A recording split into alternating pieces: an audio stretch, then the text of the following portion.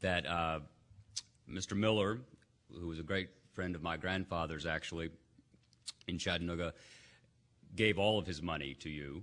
Um, not some. Uh, I don't know what it was. Um, you know, in Tennessee, we call, refer to UVA as the Sewanee of the Mid Atlantic.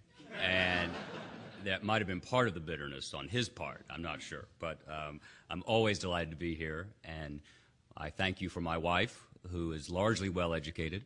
Um, she started her life in Mississippi, so you had a lot of work to do. Is this being taped? Oh, okay. Sorry. We'll move on. Of course, Tennessee is just Mississippi with hardback books, so so we do what we can. I'm am honored to be here to talk about very important things, uh, particularly in the shadow of, of Monticello and and Madison's home. I spent uh, the fall with your two local heroes in, in many ways, uh, Jefferson and Madison, who were remarkably good on religious liberty, remarkably pioneering, and drew from, did the best that any of us can do in life. I think they drew on their personal experience and their personal reason to make the world different. They were born into a world that was one way, and they died in a world that was another. And the one they died in is the one we have to protect and preserve, and that's what we're here to talk about. We are unquestionably living in a time of great political division. I know this personally uh, from my day job at Newsweek. I first got a personal glimpse of this uh, when I did a story on Mel Gibson's The Passion of the Christ a few years ago, in which I was rather um, fair but tough on uh, Mr. Gibson and the movie, and came in this is before Blackberries and that sort of thing, came in to uh, get my email on the first day of the week. That sounds nice and biblical, doesn't it? Um, not quite as momentous as the other first day of the week. Uh, and opened up a note from a Southern evangelical that simply said, Dear Mr. Meacham, I'm praying for you, but I hope you go to hell. So So I answered it, of course, uh, stupidly, and said, Well, that shows a certain doubt in the efficacy of prayer. And if your Newsweek was late the next week, it was because I, I apologize to you on behalf of the Washington Post Company for that.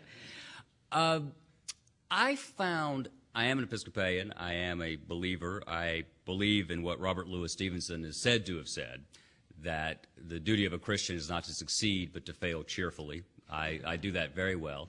Uh, Cardinal Newman, who's a particularly painful pig, uh, figure for Anglicans because we have to call him Cardinal Newman, uh, since it didn't work out too well with the Church of England in, the end, said that the test of our faith is to be able to fail without disappointment. And I think that's, that's largely true. In New York, where I live and move and have my being, so to speak, uh, most of the time, I do find that there is a kind of cultural uh, divide between the world I came from in Chattanooga and Sewanee and, and, Tennessee. It's not as wide, I think, as the people on Fox News would have you think. It's not as uh, deep as that, but it's there. There is, there is a secular and religious divide in this country. I think both sides are to blame for it. I think that we are beginning to see it in the polls. Uh, Gallup, since 2001, has been asking whether people believe that organized religion has too much influence in public life in America. And last year it hit the highest ever, 33%. So a third of the country thinks that organized religion is too influential. Same time, 80% of the country is Christian, 90% is believing, 78% believe in the virgin birth, uh, 82% believe in the physical resurrection of Jesus. So this is a, an intensely religious country, uh, but it is also a diverse one, a pluralistic one, and one marked by religious liberty, largely because of what the men who live not far from here did. And I think that's something we have to protect well, and that's what I'd like to talk to you about.